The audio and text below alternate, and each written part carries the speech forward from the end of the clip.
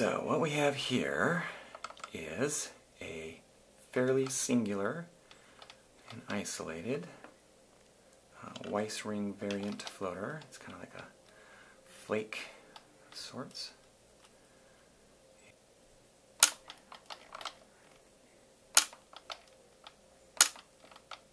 I just kind of opened it up a little bit like a like a sail that gets unfurled. Like just a big flake.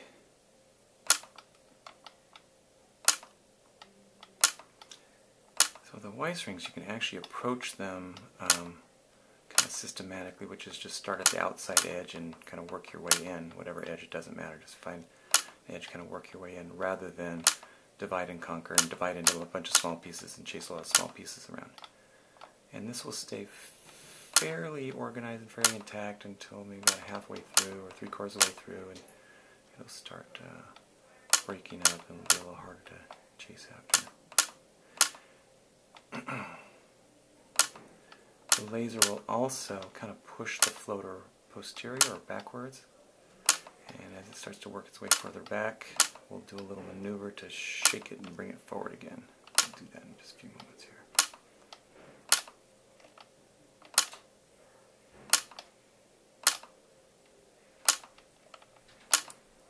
Okay, let me have you look down, and then quickly back to the light again. And there it is.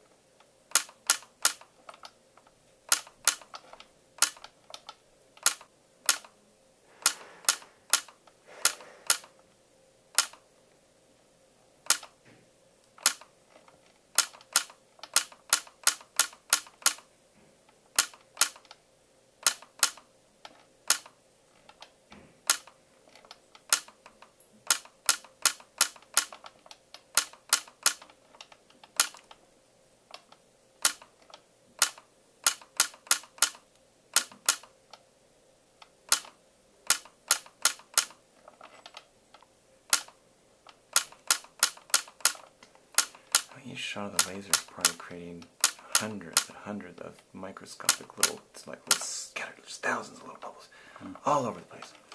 Uh, many of them will just sort of resort, or like dissolve before they even get to the roof of the eye. So you're not going to have millions of little tiny microscopic floaters. They'll kind of coalesce, and you'll end up with maybe you know tens or even hundreds or something like that. But they'll dissolve very quickly. Yeah, sometimes there's just like entire clouds of sort of vaporized gases.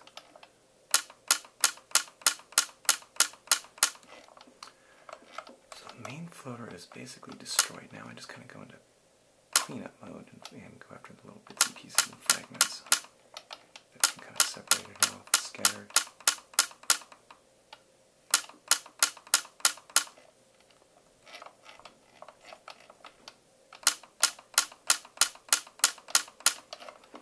This is where my laser treatment obsessive compulsive disorders of kicks in.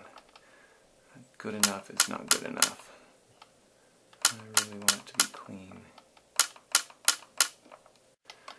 What I didn't, what I did not mention is the influence of having previous LASIK. You know, LASIK, um, in the case of treating people who are nearsighted, which is most of the case, uh, takes a central part of the cornea and, and flattens it.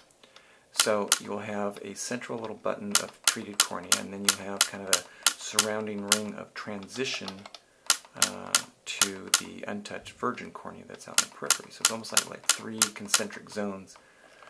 And what I'm trying to do is I'm trying to get this cone of energy from my laser all focused in one place. But if you're passing that through three different zones, it will tend to um, you know, make the, the energy a little bit less organized and basically deliver less energy. It doesn't deliver it somewhere else, it just delivers less energy. So sometimes the, um, the laser will just feel a little bit weaker or, you know, some of the shots, especially if you start to chase stuff out in the periphery or, or further back posterior, it just won't deliver as much energy.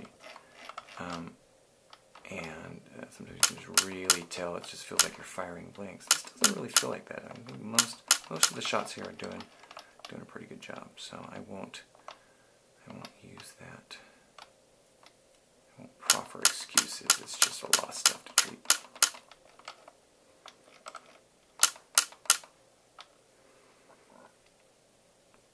So, to the to anybody watching this video, uh, what it'll appear like there are some kind of translucent, kind of plasticky sheets as I kind of scroll the, the light source kind of left, right, and that is uh, that's the vitreous cortex. That, as I was describing to you, that's that kind of plasticky sheet that pulls away. Mm -hmm. uh, that is the vitreous detachment.